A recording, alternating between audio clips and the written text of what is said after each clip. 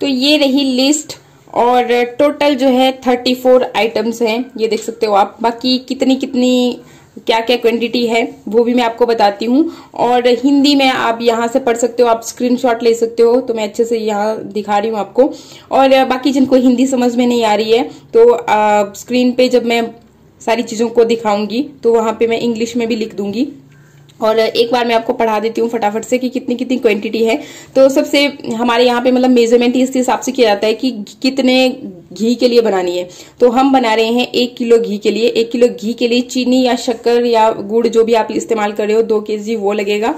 अब ये देखिए बीज बंद काला 200 ग्राम, तिल 200 अलसी 200 छोटी इलायची 10 ग्राम, दालचीनी 10 सालम मिश्री 10 मूसली काली 10 मूसली सफ़ेद 10 ग्राम मतलब पिस्ता 25 ग्राम स्तावर 25 ग्राम माजू 25 ग्राम असगंध 25 ग्राम गोंद कतीरा 25 ग्राम चार गोंद 25 ग्राम दखनी सुपारी 25 ग्राम कौच बीज 25 ग्राम बाँस लोचन 25 ग्राम मग 25 ग्राम सत ग्लो 50 ग्राम कमरकस 50 ग्राम बड़ी इलायची 50 ग्राम जीरा सफ़ेद 50 ग्राम कड़वी सौंप 50 ग्राम धनसोआ 50 ग्राम सौंठ 50 ग्राम मगज सौ ग्राम काजू ढाई सौ ग्राम दाख ढाई सौ ग्राम छुहारे हाफ़ के जी गरी हाफ़ के जी बादाम गिरी ढाई सौ ग्राम और मूंग का आटा पड़ेगा इसमें आधा के जी तो इस तरह से है ये क्वांटिटी और एक एक, एक, एक करके मैं चीज़ें भी आपको दिखा दिखा देती हूँ। क्या ये? स्तावर। ये तो कड़वी वाली सौंफ है ना? मीठी सौंफ। बड़ी इलायची। मग। पूरी बात ये। चार गोंद ये। गोंद गोंद कतीरा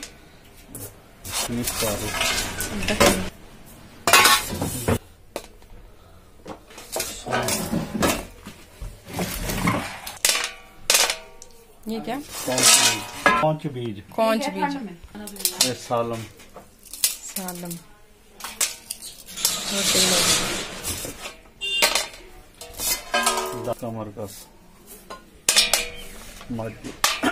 क्या ये? माजू ये क्या है? सत किलो। गुड़ जरा सीरा बना देते हैं। अच्छा अच्छा। बड़ा ये क्या है? बाँस लोचन। बाँस लोचन। मछली सफ़ेद अश्वगंध अश्वगंध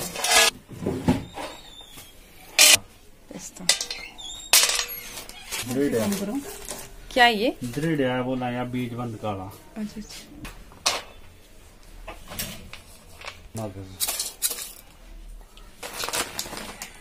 तिल अलसी तो ये सारी चीज़ें अब हम पिसवाएँगे। बाकी चीज़ें भी मैं आपको आगे दिखाती हूँ। तो यहाँ पे ही मैंने पिसवा दी क्योंकि इनके पास बड़ी जैसी मशीन होती है। आप चाहें तो मिक्सर जार में भी इसे अच्छी तरह से ग्राइंड कर सकते हो। तो जो भी पीसने वाली चीज़ें थी वो सारी पीस चुकी हैं। ये रहा मतलब पूरा ब्लेंड उसका।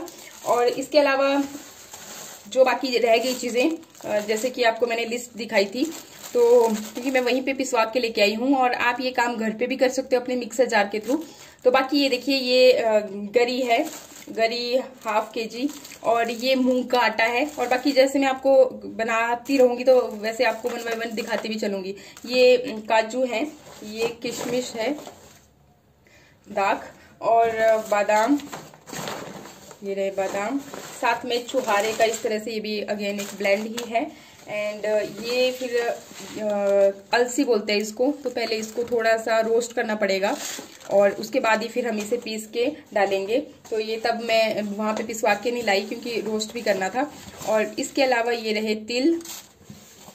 और तिल के बाद ये हैं तो ये रहा सारा सामान। बाकी कितनी कितनी क्वांटिटी है एक के जी घी के लिए वो मैंने स्टार्टिंग में ही आपको दिखा दिया है। वहाँ से आप चेकआउट कर सकते हो कि कौन सी चीज़ कितनी क्वांटिटी की है। बाकी चलिए कैसे बनाना है वो भी दिखाती हूँ। पहले तो मैंने गैस पे देखिए एक बड़ा सा बर्तन चढ़ा दिया तो है। सबसे पहले अलसी को हम इसमें डालेंगे और बिना घी के इसको रोस्ट करना है। तो बीच में इस तरह से चलाते हुए इसे हम रोस्ट करेंगे। तो अभी अलसी जो है हमारी अच्छी तरह से रोस्ट हो चुकी है और अब मैं इसे निकाल दूँगी एक बर्तन में।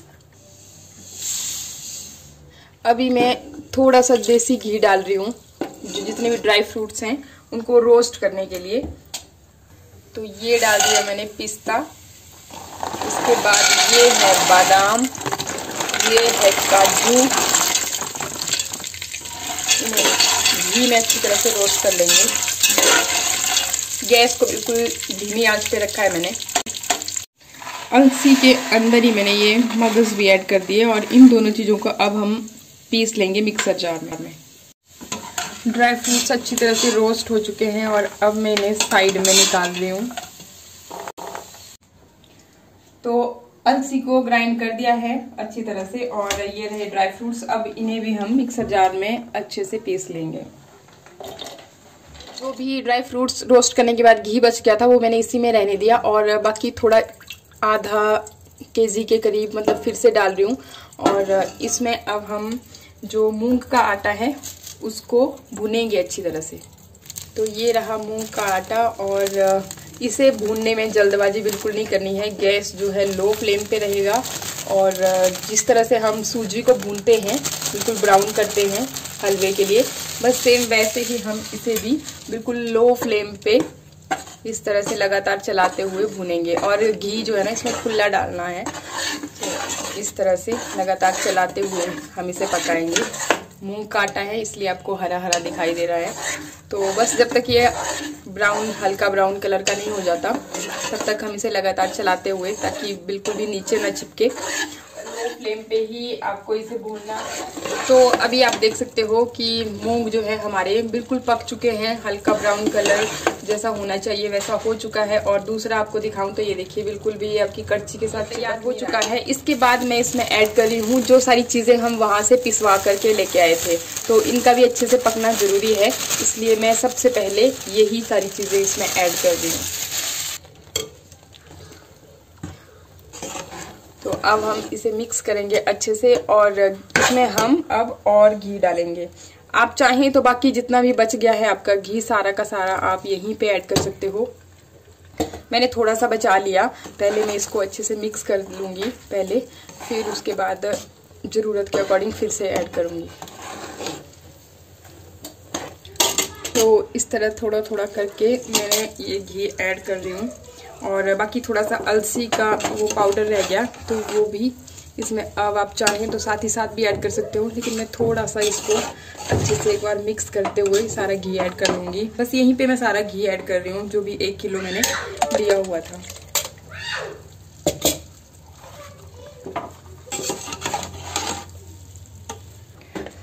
तो इस तरह से अच्छी तरह से मैंने इसको मिला लिया, ताकि सारी चीज़ें आपस में अच्छे से मिल जाएँ। और काफ़ी हीट भी थी। बिल्कुल लो फ्लेम पे मैंने गैस को रखा हुआ है। और इसी बीच मतलब जो भी हमारी चीज़ें हैं, वो भी अच्छी तरह से पक चुकी है। बहुत ज़्यादा नहीं पकाना है। खाली बस ये जो भी घी था और सारी चीज़ें अच्छे से मिक्स हो जाएँ।